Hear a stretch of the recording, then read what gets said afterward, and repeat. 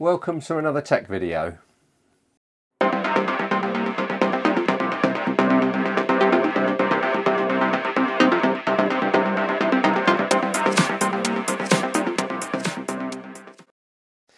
Okay, so today we've got, um, this is an HP Pavilion TouchSmart 15 inch um, screen laptop that has is suffering from three of the keys not working. Um, the chap has removed the keys, cleaned it and put them back in, but it's made no difference. So we're going to do a straightforward uh, keyboard swap out on this device.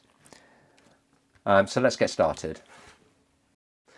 All right, so before we start um, the repair, um, let's basically have a look at the keyboard. So this is the replacement keyboard that's come and the first thing that I always do on changing a keyboard is just check to make sure that it's got no grub screws or some little ports with a thread in there. So we can see that this one does have, so there's one screw that needs to come out of the laptop um, beforehand. So let's have a look to see whereabouts that potentially is.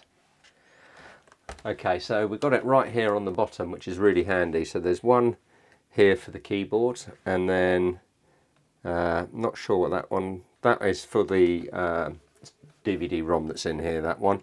But this one, it's got a keyboard symbol marked on it, so we're just going to remove that screw, and then it should come out. So let's So let's remove the keyboard screw.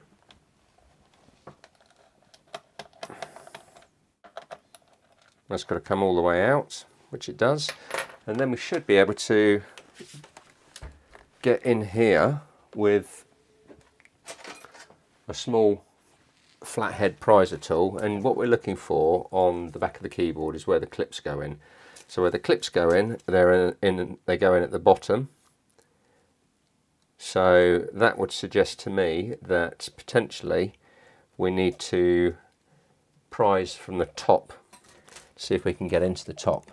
And if we get our little tool underneath there, so it needs to be a bit smaller than that. So probably a small flathead screwdriver, nope. Okay, yeah, so that should be fine actually if we go in there like that.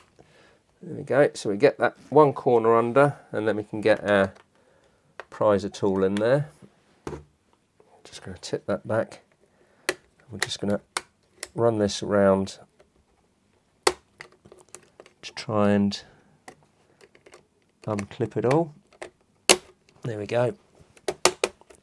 And then carefully remove it.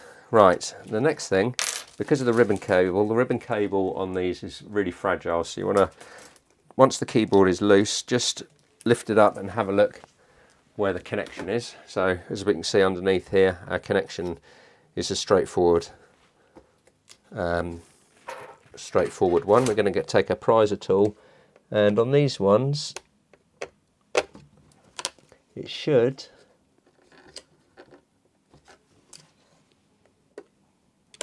this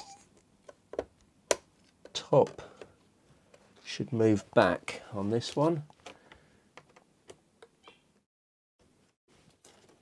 We're just going to pull that out. In fact, it uh, it doesn't need uh, one; it just slots in there. So, on our replacement, we're going to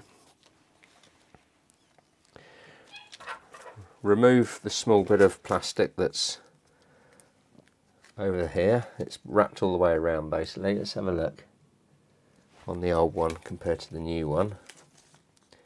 Okay, so we do need to remove this little bit of tape that is stuck over the top to protect the contact points. There we go, that's that removed.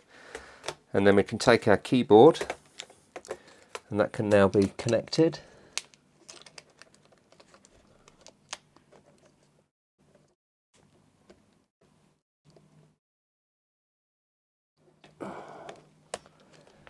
Let's just have a look at that.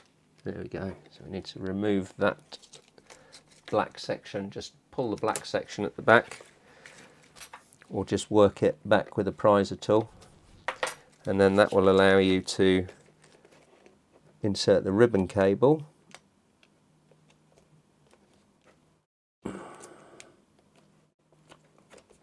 Once the ribbon cable is in that should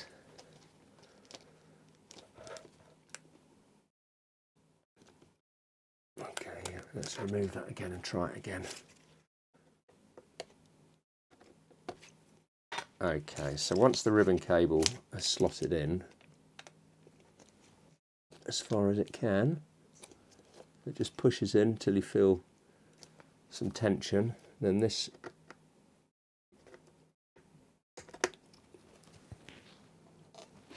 part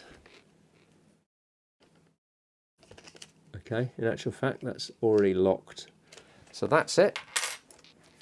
Let's now see we get the keyboard plug back in so on the bottom here clips go in first and then the top should just push down and clip in at the relevant places around the edges and top. Next thing we want to do is make sure that the keyboard is working. So we're going to get some power into the device. Okay, once we get a picture, we should be able to log in.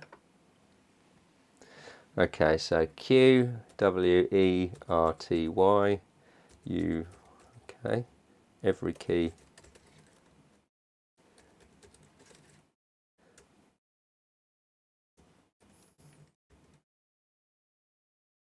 is working. Home, yep. Uh, numlock.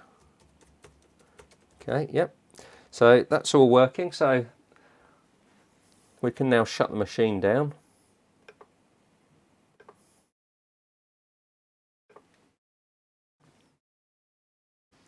And once that's shut down, or while it's shutting down, we can do it. So we want to take our screw that holds our keyboard in. That goes back into this port on the back of the laptop, into the hole here.